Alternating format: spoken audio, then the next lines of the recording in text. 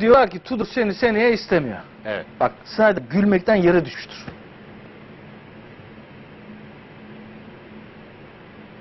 Kariyer meselesi. Yani Tudor Snyder isteyecek, istemeyecek kariyerde değil henüz diyorsun.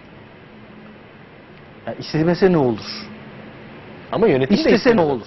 Olur? Ama sen yönetim de biz- istemiyor Ha, zaten. Onu söyle işte. E, tamam. tamam yönetimde. Biz seni işler hep- istiyoruz de E, bitsin tamam, yani. Bu işler hep böyle olmuyor mu tamam yani? yani o yüzden diyorum Evet, gülmekten yere düşmüştür ya.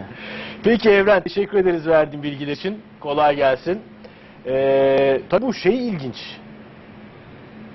Fi ücretini indir bir artı bir yapalım. O dalga geçmiştir herhalde orası.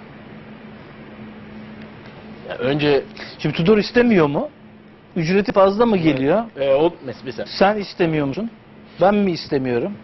İstemiyor? Çünkü bak bu, bu Snyder'i yollamak demek bu şekilde yollamak demek. Bu işi hiç sessiz sedasız halledeceksin. Böyle bu toplantılar, toplantılar falan. havaalanında karşılamalar. Sen Yani gideceksin. oraya geldi. Gideceksin Ibiza'ya. Kardeşim bak. İş olmayacak. Sen de, sen de zaten gitmek istiyorsun. Hadi atalım imzalı. Güzel bir uğurlama yapalım sana. Bitirelim. Bu sürüncemede kal. Neden biliyor musun? Bu iş sürüncemede kaldıkça iki gün bile sürse taraftara etkisi çok ağır olur. Tabii. Ağır olduğu için de sahadaki oyuncuların hemen tamamı için büyük baskı olur. Muslera hariç.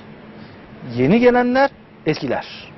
Şimdi bir, Özellikle de onun pozisyonda oynayacak Belhanda için. bir Selçuk'u çok etler. Kardeşim siz ona parasını ver. Selçuk o hala parayı oynuyor. Kusura bakmasın yani Selçuk. Bunu herkes bildiği için söylüyorum. Ben kimseyi kışkırtıyor değilim. Selçuk'u ne kadar beğendiğimi bilsin. Belhanda'dan Selçuk Snyder bekleyeceksin.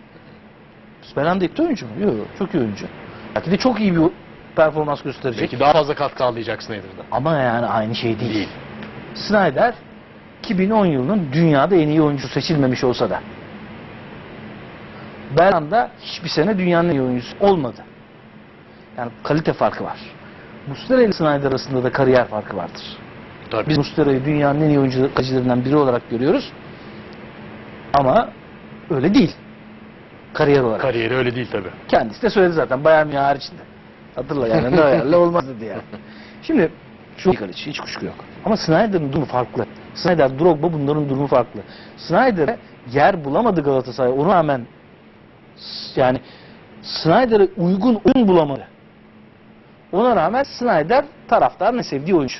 Açık ara.